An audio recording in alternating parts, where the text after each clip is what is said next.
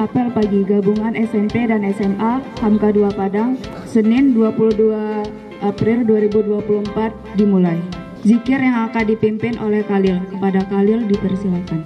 A'udzu billahi minasyaitonir rajim. Bismillahirrahmanirrahim. Alhamdulillahi rabbil alamin.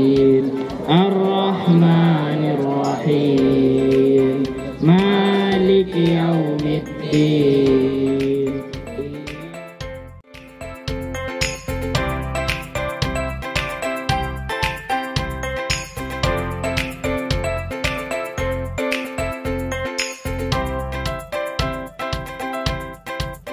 mengucapkan Alhamdulillahirobbilalamin, apel pagi ini telah selesai.